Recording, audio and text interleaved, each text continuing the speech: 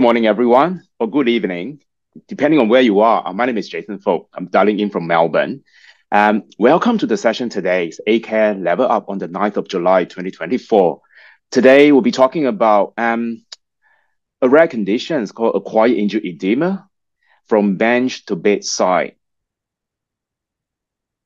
So um, we have a group of prestigious faculty members today to educate us on this topic: Dr. Andrea Zanichelli from Italy, and Dr. Delphine Gobert from France, and Dr. Danny Cohn from the Netherlands.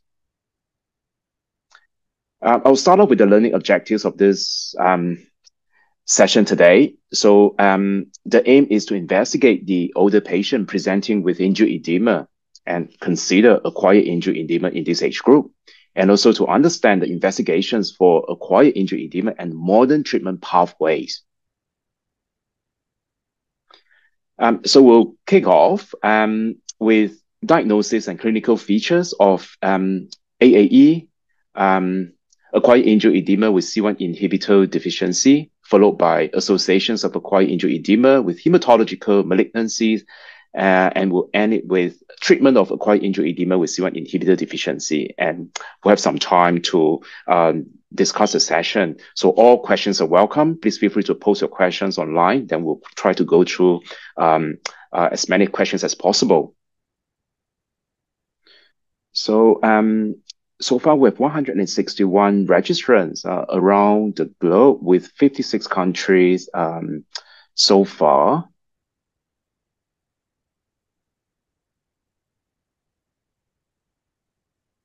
And it covers um almost every continent.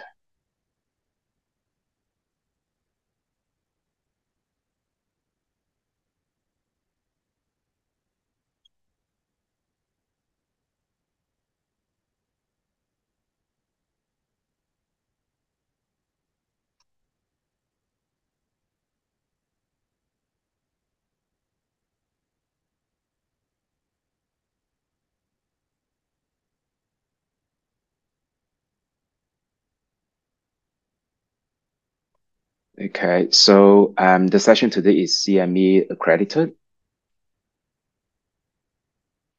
Um, and I would like to take this opportunity to remind everyone to complete the feedback form at the end of the webinar session in order to receive the CME point.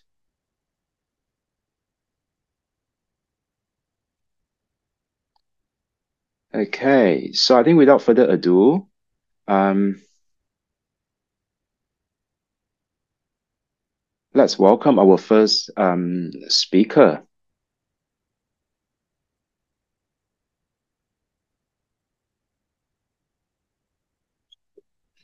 Dr. Zanichelli, thank you. Yes, hello. Uh, good morning, uh, or I don't know where are you're connecting from. So uh, good afternoon or good evening. Um, so it's my pleasure to start this webinar, and uh, uh, I will uh, speak about the diagnosis and clinical features of acquired angioedema due to C1 inhibitor deficiency. I work in Milan at Policlinico San Donato, and I'm a researcher for the University of Milan. And uh, uh, yeah, I've been i've been in the field of angioedema for uh, several years, more than more than 20 years. And um, so I treat hereditary angioedema patient and acquired angioedema patient. And in my presentation, in this first presentation, the plan is to Uh, define uh, the disease, uh, speak about the prevalence, the pathophysiology of the disease, the clinical features, compare acquired and versus hereditary angioedema, and how to make the diagnosis of this rare condition. So uh, acquired angioedema uh, with C1 inhibitor deficiency was uh, described in 1972 for the first time. Um, it's a rare disease, rarer than hereditary angioedema. Usually, in literature, hereditary angioedema is the prevalence of hereditary angioedema is one on 50,000. And with acquired angioedema, the prevalence estimated is one Uh, patient uh, on uh, 500,000 people. But it might be that it is a bit more high because it might be difficult to diagnose this disease, so it might be underestimated. And about the clinical manifestation, uh, uh, there are the typical uh, angioedema symptoms, so recurrent symptoms that without wheals.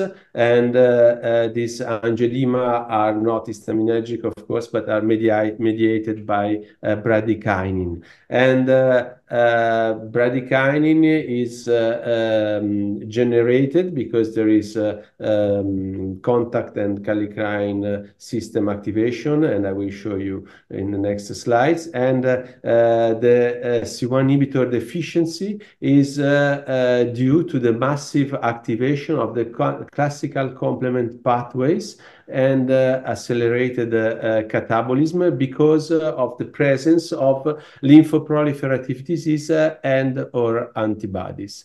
And to make a diagnosis, we have to test C1 inhibitor levels that are usually below 50%. So about the pathogenesis of this uh, uh, disease, we have, uh, you can see at the center of this picture, the C1 inhibitor deficiency. So um, in case of hereditary angioedema, we have a gene mutation, the SERPIN gene 1, that causes an impaired synthesis or function of C1 inhibitor. In case of acquired angioedema, patients do not have any gene mutations. They produce normal levels of C1 inhibitor, but there are some uh, there are out antibodies anti-C1 inhibitor, or there are uh, neoplastic tissue that activate complement pathway and consume C1 inhibitor. So the result is a C1 inhibitor deficiency. So if there is a C1 inhibitor deficiency, then the uh, factor XII is activated, so contact system is activated. The kallikrein system is activated with generation of bradykinin, which in turn Uh, cleave high molecular weight kininogen with generation of bradykinin and edema uh, formation. And uh, um, if we uh, measure the cleavage of high molecular weight kininogen in patient with hereditary angioedema and with acquired angioedema during an acute attack, we see that the levels of high molecular cleaved high molecular weight kininogen are elevated, and also the levels of activated factor XII during attacks are eh, elevated in patient with acquired angioedema. Usually, this eh, um, disease is eh, associated with different condition, but most commonly with non-Hodgkin lymphoma and autoimmune disease. Um, so there is Uh, uh, the production of uh, neutralizing C1 inhibitor antibodies, and it's very common, the presence of a monoclonal gammopathy of undetermined significance. But this topic will, um, on this topic, Delphine will tell you later. Um, Uh, so that the synthesis uh, is not uh, impaired in this patient, as I said, but there is an increased catabolism of C1 inhibitor. And in this picture, you can see the neoplastic tissue, usually neoplastic lymphatic tissue, that uh, activate uh, complement system with C1 inhibitor consumption, or the presence of a clone, B-cell clone, that uh, produce antibody anti-C1 inhibitor with the cleavage of C1 inhibitor. And the results is a reduction in C1 inhibitor function.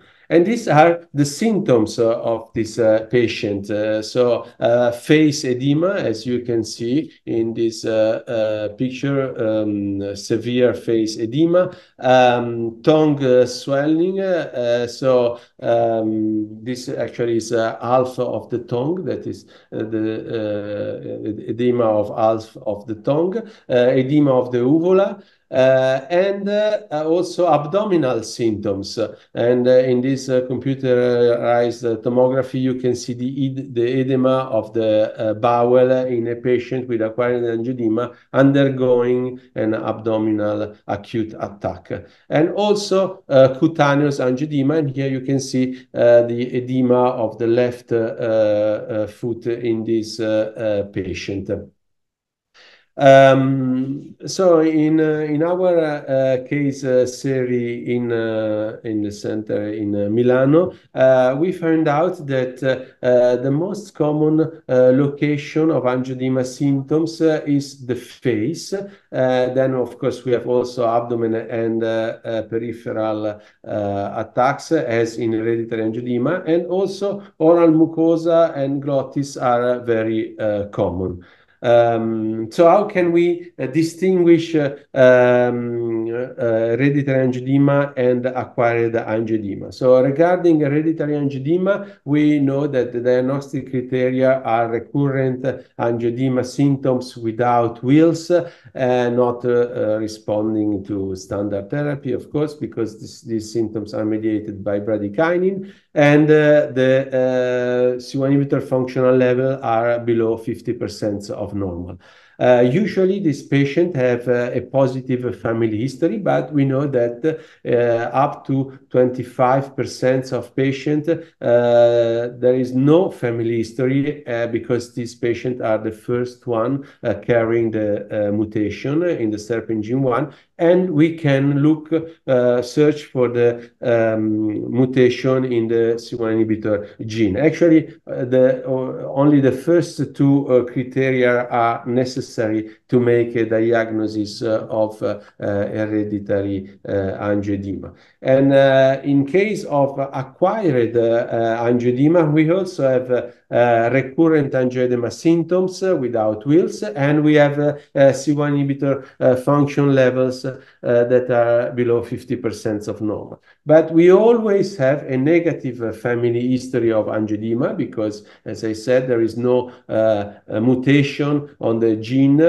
the SERPIN gene 1, uh, and, and uh, the disease is uh, acquired. Um, and also some other uh, clinical criteria that can help us to distinguish uh, hereditary and acquired angioedema uh, are the age of symptom or, or, the age of onset of symptoms. Um, in, usually in hereditary angioedema, symptoms uh, are uh, start during puberty, but uh, Uh, actually within the second decade of life, almost all patients are uh, symptomatic, uh, while in acquired angioedema, symptoms uh, uh, start later after the fourth decade of life. And also the location can help us to make the differential diagnosis because in case of um, acquired angioedema, we have more frequent face angioedema and also more frequent involvement of tongue and uvula uh, compared to hereditary angioedema. But of course, we also uh, have uh, we, we, also um, can do a diagnosis with a, lab test, uh, and the lab test uh, can uh, can help us when we when we measure, as we said, functional C1 inhibitor. The functional C1 inhibitor is below 50%, as in hereditary angioedema. The quantitative uh, C1 inhibitor uh, usually is below 50%. Sometimes uh, at the very beginning of the disease can still be um, uh, normal or uh, above 50%. Um, C4 is low, and uh, uh, actually this is uh, typical for acquired angioedema. C1q is um, reduced because of complement, classical complement pathway activation, and is, as you can see, in 50% of patients, we found a low C1q. And also, we find in most of the patients, about in 70% of the patient, the presence of uh, antibodies uh, anti-C1 uh, inhibitor, which are negative in hereditary angioedema. So I will um, Uh, present this uh, uh, case, clinical case of a patient uh, that came to our outpatient clinic in 2014, uh, a 46-year-old um, female with episode of a recurrent episode of peripheral and facial edema since one year, no family history of recurrent angioedema, no wheals, there was no, she was not not responding to standard therapy with corticosteroids eh, for acute angioedema and uh, antihistamine for prevention of attacks. We uh, um, tested the C1 inhibitor, and we found that the C1 inhibitor antigenic and functional level were uh, below 50%. Uh, and uh, actually, also C4 was Um, low, and C1q actually was uh, normal. Uh, she had uh, she was positive for autoantibodies against C1 inhibitor, and there was no mutation in SERPIN gene 1. And we also did the abdominal ultrasounds for oncohematological disease associated, but as I said, this will be the topic of the next presentation. So we made a diagnosis of, uh, in this uh, uh, woman of acquired angioedema uh, with C1 inhibitor deficiency and uh, uh, because she uh, she had a very high uh, attack rate for attacks per month, we started a treatment in 2014 with the danazol, which was the uh, most used uh, drug for long-term prophylaxis at that time in hereditary angioedema. So we actually used the same drug for hereditary angioedema in acquired angioedema and uh, uh, she was doing better with uh, under danazol and also the antigenic and functional levels reached normal range and the autoantibodies were negative. Uh, but then she uh, developed a focal uh, nodular hyperplasia, liver focal nodular hyperplasia. so we have to stop uh, danazol, and there was again an increase in attack rate, and again, the C1 antigenic functional levels and C4 uh, decreased, and the antibody were positive. Uh, then in November uh, uh, 2015, uh, we started with tranexamic acid, which was the other drug that was used at that time for long-term prophylaxis, but was not effective. So we uh, reintroduced danazol with a strict uh, follow-up uh, of the uh, liver lesion, but uh, uh, this time danazol didn't work and the rate of the attack was still high. So we discontinued the danazol and the attack rate went even higher. And uh, uh, finally, in 2020, uh, the lanadelumab became uh, uh, available in Italy for the treatment of hereditary angioedema. So we start, we used this uh, drug also in off-label in this patient, and we have a reduction of 90% of the attack, 90% in attack rate. And of course, the complement levels were reduced, but the patient was doing very very well on this drug and she's still on this drug and we publish uh, this uh, this case. And uh, finally in 2021 we uh, the patient was positive for MGUS uh, uh, IgM so um, um, what are the take-home message uh, from this uh, first presentation that uh, acquired angioedema uh, is uh, characterized by recurrent angioedema symptoms without wheals, that uh, uh, the onset of symptom is after the fourth decade of age, so there is a later onset of symptoms compared to hereditary angioedema. There is no family history, and uh, the angioedema is not related to drugs such as uh, ACE uh, inhibitor. We know that patient that on ACE inhibitor might develop angioedema symptoms mediated by bradykinin because ACE is also the an enzyme that catabolized bradykinin. So when we inhibit this enzyme, the levels of bradykinin are higher and patient might manifest symptoms so Uh, of angioedema. So it's important that uh, the uh, angioedema is not related to this drug. And also it's important that if a patient start having angioedema when he is on ACE inhibitor, it's important to test the C1 inhibitor functional because this patient might be an acquired angioedema patient and the symptoms might be triggered by ACE inhibitor. And uh, yeah, as I said, uh, the, it's very uh, the, to make a diagnosis. Uh, we uh, functional level should be uh, less than 50% of normal. no mutation are present in the C1 inhibitor gene, and it's mandatory to do an investigation for associated disease. So with this, uh, I have uh, I finished my presentation, uh, and we will have time later for a question and answer, and I will be happy to answer to your questions. So thank you for your attention.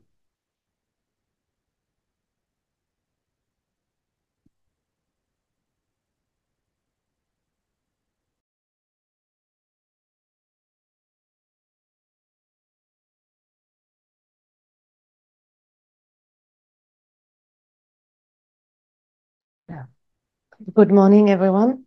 Um, thank you for inviting me to participate to this webinar. I work in Paris, and we have in France also a registry of uh, acquired angioedema patients that allows us to describe those groups. So, um, here my disclosures. So I'll first describe the hemopathies that we that are associated with acquired angioedema, then ask and collect the elements in favor of a causal link between those hemopathies and acquired angioedema, and then describe a bit if uh, the angioedema is specific in those conditions. So since the 70s, it is known that acquired angioedema is associated with First, B-cell lymphoproliferations, mostly, that are low-grade and can display uh, a monoclonal gammopathy of IgM or IgG isotype, and also, uh, as Andreas said um, previously, monoclonal gammopathies of undetermined significance. And the most uh, important series that were published regarding the angioedema patients in Europe, mostly, um, uh, confirmed this association and um, over time. And there is, uh, with a bit variation among the prevalence, but it's almost 50, 45% of monoclonal gammopathy, 45% of lymphoproliferation.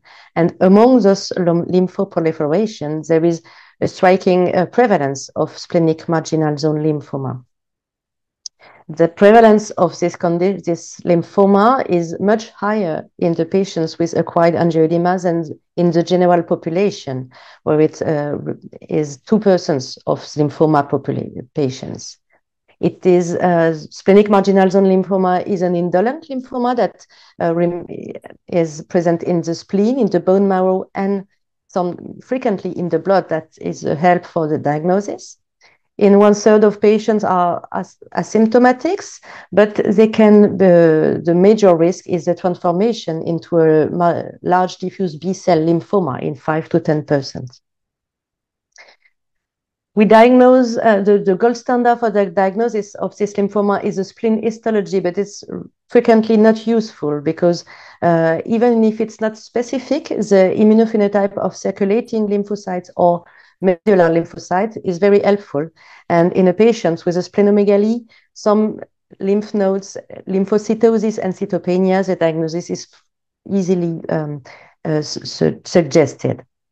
Uh, what we see in those patients that is there are frequent uh, autoimmune conditions, especially autoimmune hemolytic anemia. So on the molecular point of view, those lymphoma are associated with some mutations uh, of the marginal zone differentiation or NF-kappa B, but those uh, mutations, identification of those mutation is not mandatory to confirm the diagnosis of splenic marginal zone lymphoma. Those patients remain frequently asymptomatic, and uh, in the general splenic marginal zone lymphoma, no observation and uh, follow-up is can be a good uh, way to follow patients. But if they become symptomatic, and most frequently because of a very large spleen, uh, a treatment can be used. Splenectomy can control the symptoms and especially control this, uh, the manifestation associated with the enlarged spleen, but it has the complications we all know. And hematologists frequently recommend as a first line bed an association of bendamustine and rituximab, and then rituximab in monotherapy of um, in a maintenance for two years. But as you see, other options are possible, anti-CD1 monotherapy or um, BTK inhibitors. For the patients that have acquired angioedema and splenic marginal zone lymphoma, uh, several publications identified that the pattern of um, this lymphoma in this setting is not different from the general one as a clinical or biological specificities. And it seems to have the same prognosis and the same response to treatment of as the typical splenic marginal zone lymphoma. The other lymphoproliferations that I described with the, in the setting of acquired angioedema are quite diverse. Uh, very large predominance of indolent B cell lymphoma or lymphoproliferation that can range from chronic lymphoid leukemia, margin, uh, Waldenström macroglobulinemia, but also follicular lymphoma or rarer diagnosis. Uh, what we see is that diffuse large B cell lymphoma is very rare, associated with acquired angioedema, and T cell lymphoma rarer again. In those patients with acquired angioedema, there is an overrepresentation of monoclonal gammopathies of undetermined significance as compared with the general population over 50 years of age.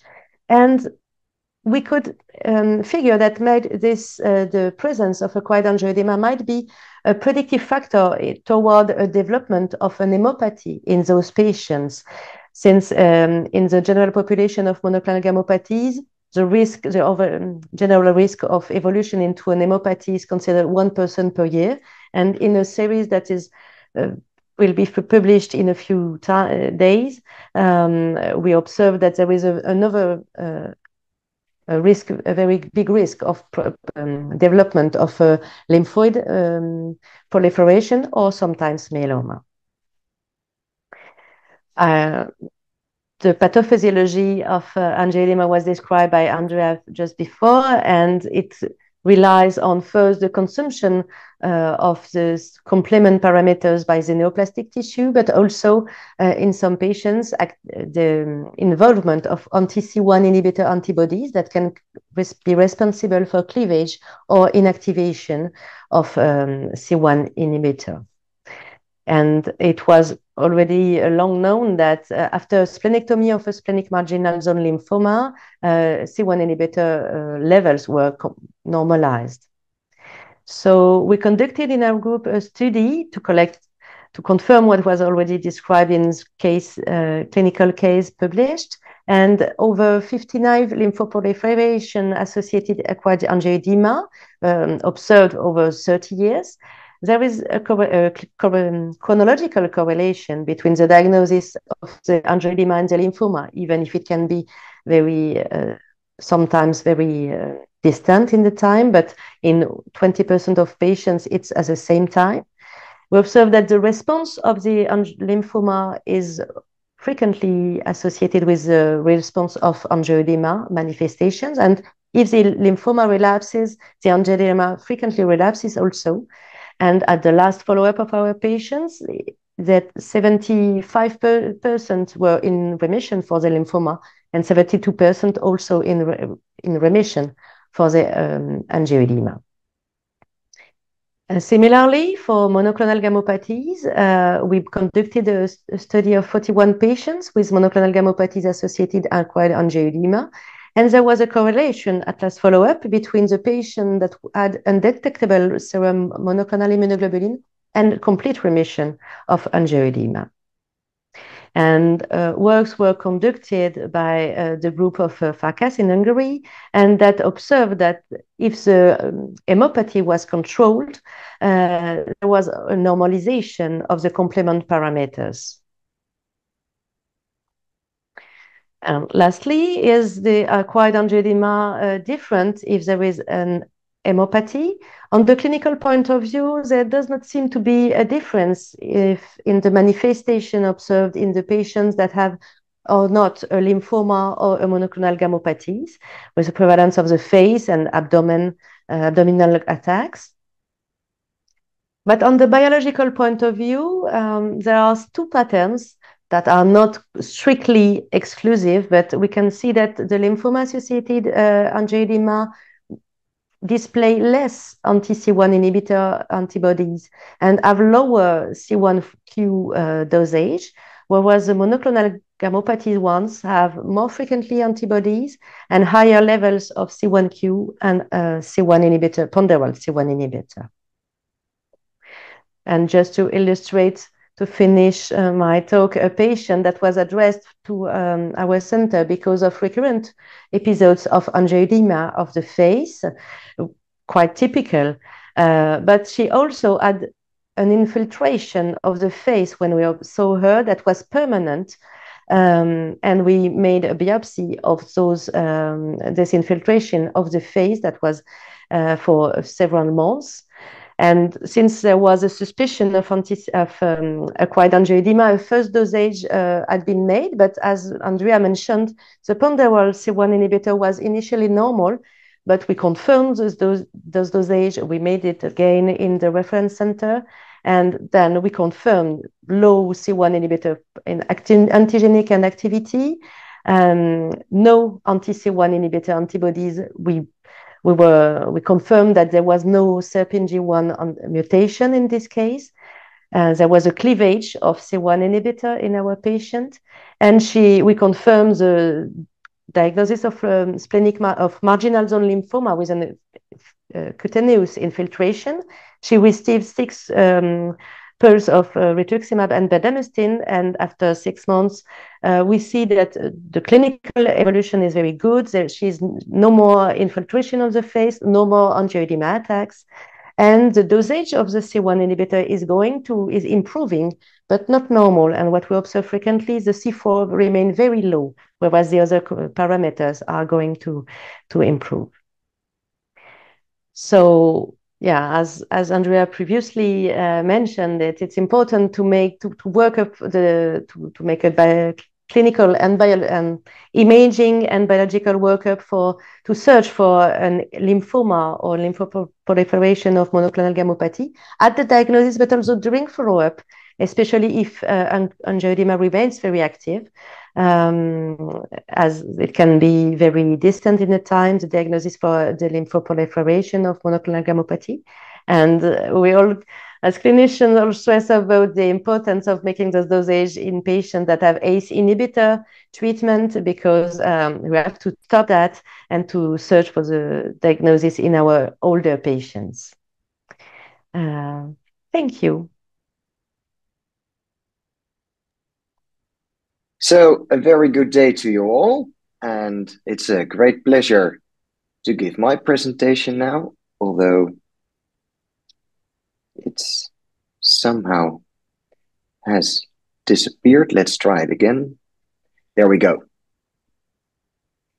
And I would like to thank the organizing committee for the invitation and for all um, the audience to stay tuned. Um, I will uh, discuss now the treatment of acquired angioedema. And I think it's important to highlight that there are no specific treatment guidelines.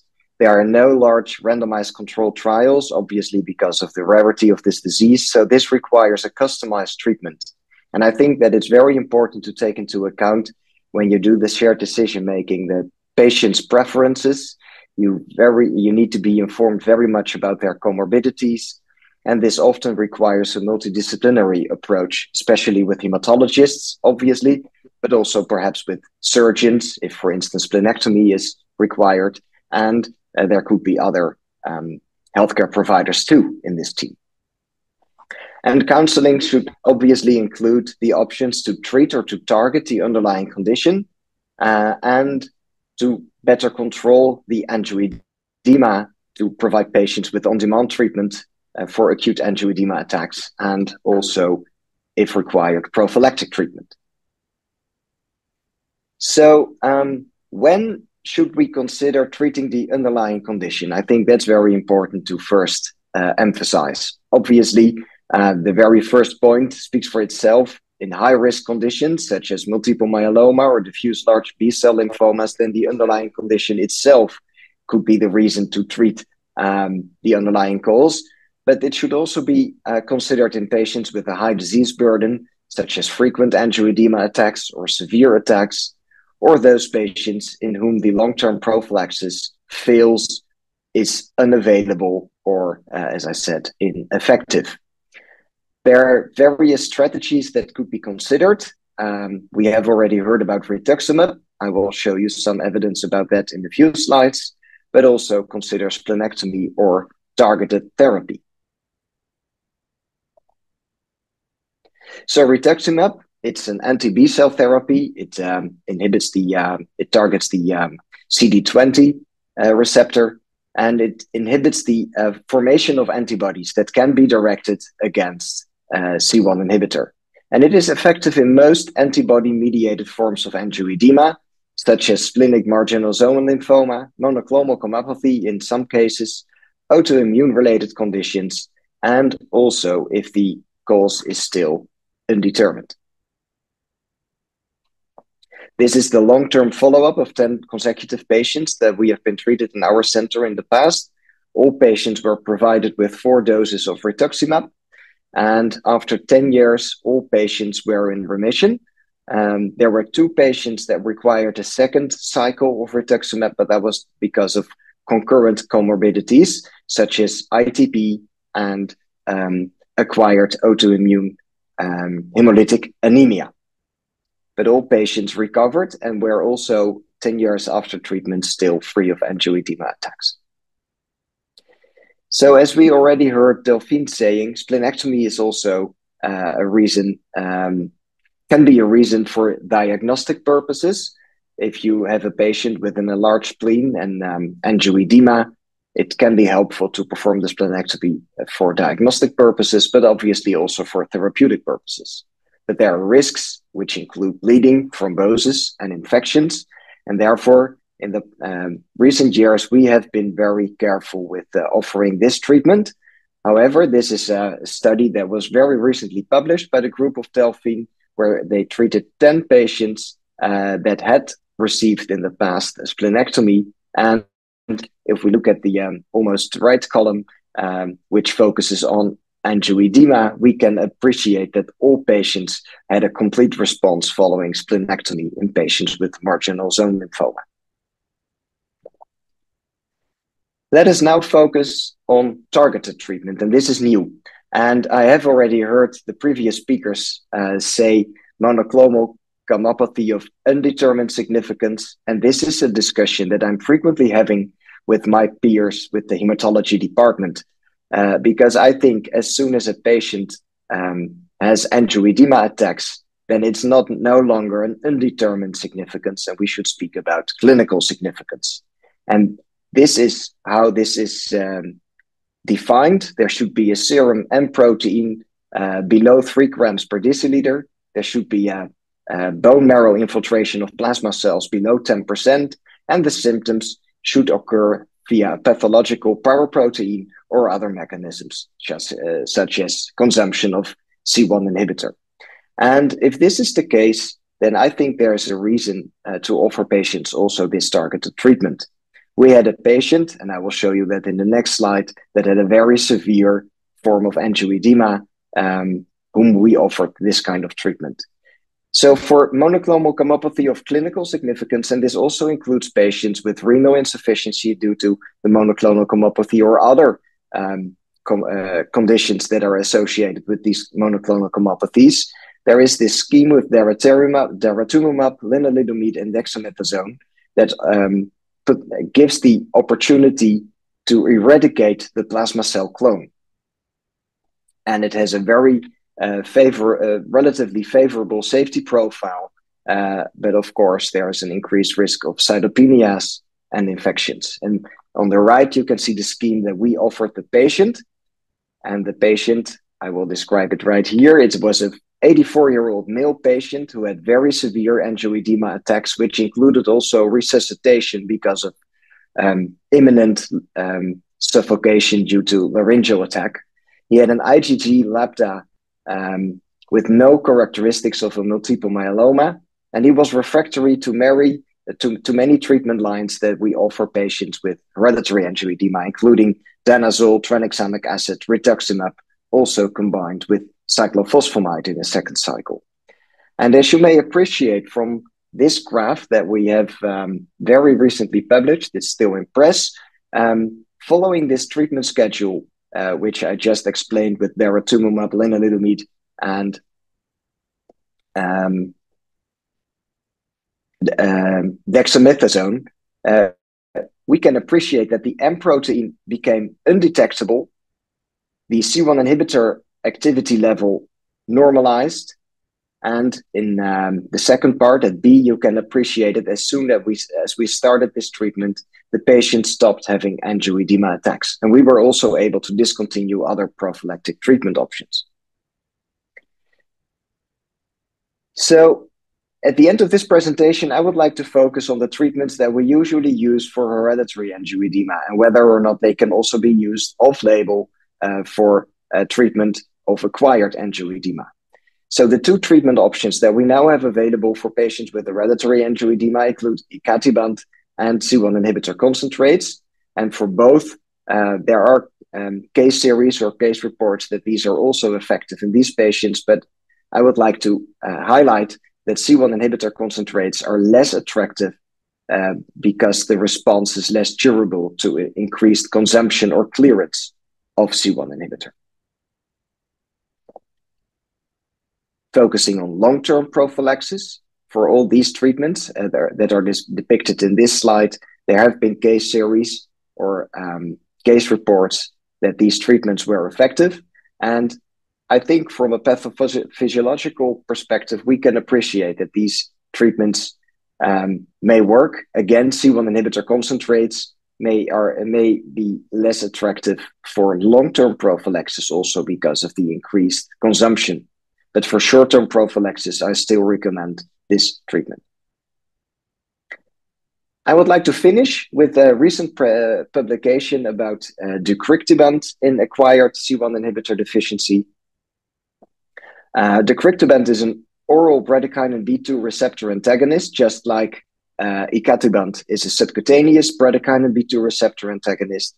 And in this study, we um, assessed both acute treatment and prophylactic treatment with deucrictibant. So we randomized patients with acquired C1 inhibitor deficiency.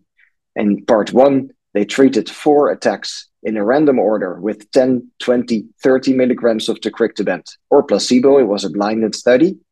And in the second part, which was a crossover study, patients treated at eight weeks with either placebo or deucrictibant 20 milligrams uh, twice daily and then after eight weeks, they crossed over to the other uh, treatment. And if we look at the results, this is an NS1 study. Uh, we can appreciate that all the three doses of deucrictibant reduced the uh, VAS3 score, which assessed um, swelling, skin pain, skin swelling, and abdominal pain. But it increased, uh, the attacks increased when uh, placebo uh, was used. And if we look at uh, a total of three patients that used either deucrictibant or placebo during eight weeks for prophylactic treatment, we can see that all patients were attack free when they were using deucrictibant for long-term prophylaxis. So, of course, this is a very small study, uh, but it shows that targeting the bradykinin B2 receptor may be an effective um, treatment for uh, long-term prophylaxis as well as acute treatment with, for patients with acquired angioedema. These are my conclusions. Uh, first of all, consider treatment of the underlying condition, especially when long-term prophylactic treatment options are not available or ineffective. Um, always consider a multidisciplinary approach, including a hematologist if there is a hemopathy, for instance. And I think given the um, safety uh, and the tolerability of rituximab, this is a preferred first-line treatment for most cases of acquired angioedema. There's, even though limited, but there is evidence that the HAE therapies are also effective in patients with acquired C1 inhibitor deficiency. But it must be stated that C1 inhibitor supplementation may be less attractive due to its high clearance. And with that, I would like to thank you very much for your attention. And together with my co-presentation presenters, we are very happy to take your questions. All right. Thank you so much, everyone, for the fantastic education series. Um, so I, I, can see a couple of questions coming in. Let's just start off with the first one. Um, does autoantibody cleave C1 inhibitor rather than neutralizing it?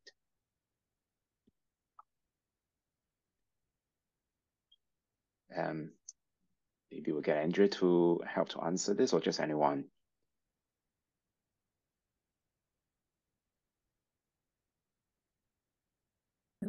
I, can answer that. It, yeah, I yeah. Anyone is. There are two. The two mechanisms are possible: uh, cleavage and also inactivation. And inactivation sometimes is also associated with those complex immune complex of C1 inhibitor and anti and uh, sometimes the comple immune complex are detected even if anti C1 inhibitor antibodies are not present.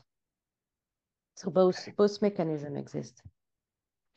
And, so both and, mechanisms are possible. Yeah, that both mechanisms are possible. Yes, and if I can add, uh, not all patients have uh, antibodies anti-C1 inhibitor. So uh, it's uh, uh, it's very important to uh, detect these antibodies, but not all patients are positive and uh, I think it's also very, as, as uh, uh, Danny said, uh, is um, important to detect this autoantibody also for uh, the use of uh, treatments such as C1 inhibitor. So we had experience with patients that were resistant to C1 inhibitor and they had antibody anti-C1 inhibitor. Okay, thank you. The next question is, why is C1q selectively reduced in AAE but not in HAE? And in HAE type 1 or 2, reduction in C1 inhibitor may promote overconsumptions of C1q. Yeah, I think this is due to consumption of complement. So let's not forget that the um, presence of antibodies, not necessarily directed against C1 inhibitor, but just antibodies, they can induce the classical uh, complement system, uh, which leads to consumption of many uh, parts of the complement system, including C1 inhibitor and also C1q. All right, thank you. Um, I think the next question is for Andrea. Yeah. Um, the question was about, did you use icatibant in your patients with AAE and did she respond well to icatibant? Uh, yeah, we did use uh, icatibant uh, in our patient, and uh, she was responding to icatibant, but uh, she had a very high frequency of uh, of attack. So um, yeah, we she she was really a candidate for a, a long prophylactic treatment. Right. I think the next question is for you as well. would immunosuppressant or rituximab work through inhibiting autoreactive B cells, producing the anti-C1 inhibitor antibodies. Also, is there any difference in the significance in finding IgM or IgG anti-C1 inhibitor antibodies?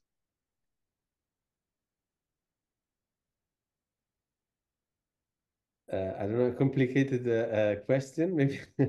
maybe Danny want to answer to this. So we actually we didn't use uh, much uh, uh, rituximab as a first line uh, treatment, uh, but um, yes, also in the last year since we have this uh, um, new targeted drug, we are using more. Um, lanadelumab or uh, maybe we in the future we could start using also berotralstat uh, for uh, in patients that are highly symptomatic and they don't have a severe disease condition associated. But maybe then you want to add on this. Well, it's a very good question. We always try and find um, to identify whether or not there's an MGUS, and that could be either IgM, IgG, or even IgA. Um, but with respect to treatment response, I don't recall any data on the difference between IgG or IgM. Um, if there's if there is antibodies directed against C1 inhibitor, then I would definitely recommend uh, to use rituximab if you want to treat the underlying condition.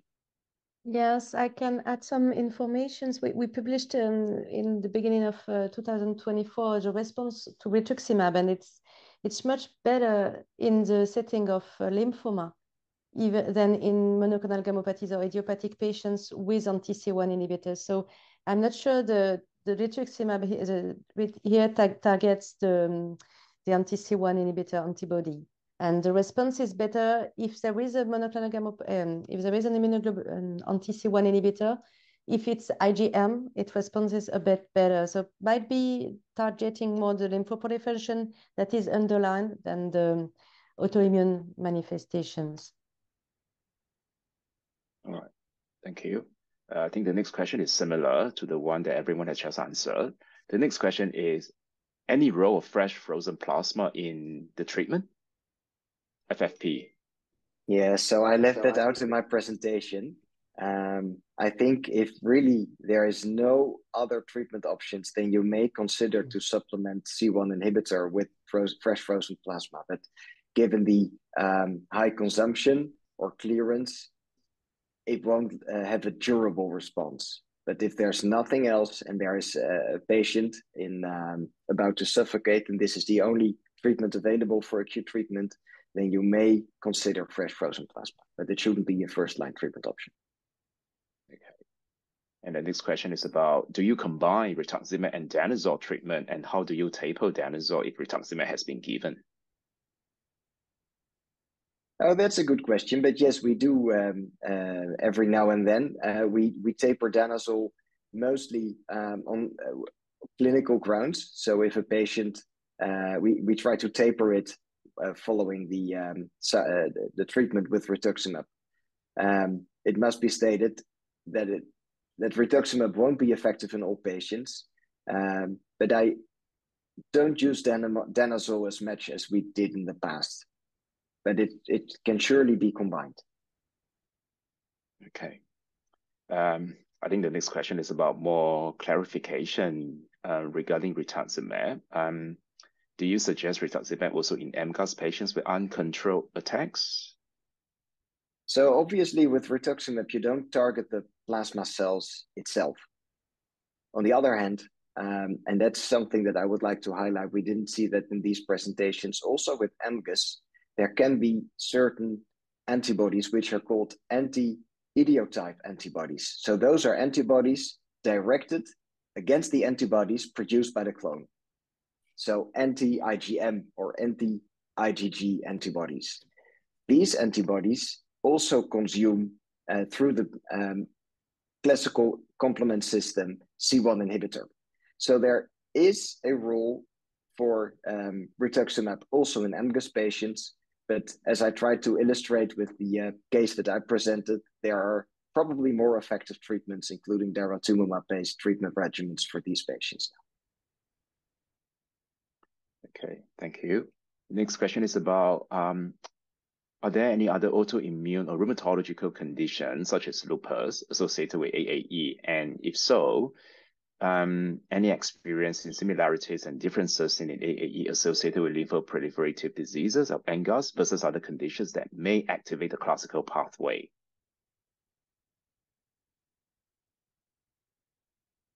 Well, there are there are patients that have uh, uh, lupus, uh, uh systemic erythematosus lupus, and uh, um, and other uh, autoimmune disease. And actually, in the past, there, we used to distinguish acquired angioedema type one, type two, if it was related more to a lymphoproliferative to a lymphoma, or if it was more associated with an acquired uh, eh, with an uh, autoimmune disease. But actually, uh, nowadays we don't uh, we don't differentiate anymore this uh, um, uh, this kind of acquired angioedema in terms of um, pathophysiology. I mean, as as I, I show you and also as uh, Delphine show us, uh, there are there are patients that have uh, lympho um, indolent fre frequent they, they frequent have an indolent lymphoproliferative disease, but there are also patients that do not have a, a lymphoproliferative disease. They might have a MGUS or and or autoantibodies anti-C1 inhibitor, and might be that the MGUS as Dennis said, is the responsible for the uh, cleavage of uh, of C1 inhibitor, uh, but mm, in most cases. But um, yeah, I think um, in in terms of uh, um, pathophysiology and uh, uh, treatment, there are no really mm, differences between these two um, associated condition. But maybe Delphine want add something. No, I, I agree. Sorry, I raised my hand before, but um, I'm totally agree with you. Right. Okay. So coming to the last questions, um, any experience with the berotralstat?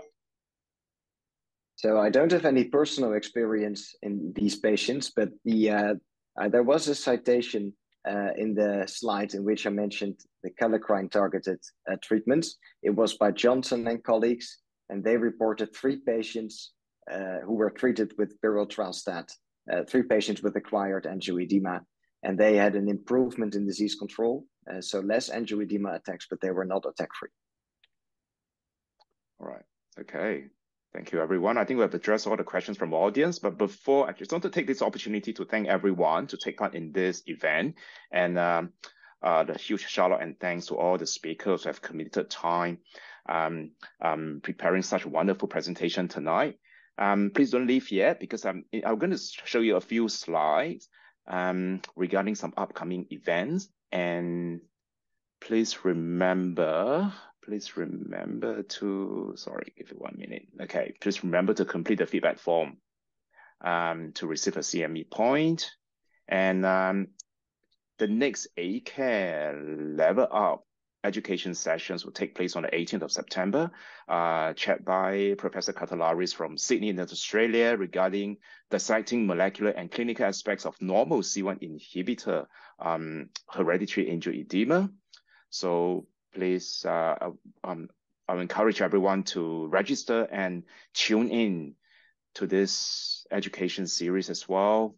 Um, hopefully everyone can make time to meet up in Copenhagen for the upcoming Global Angioedema Forum in the first week of October. And we have an upcoming bradykinin symposium and angioedema school in Berlin. Um, and just one slide on how to become a care center.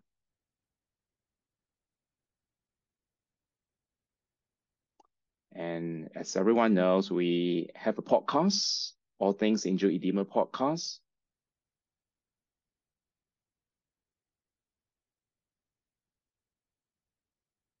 Okay, with that, thank you so much, everyone. Thank you. Thank you. See you next time.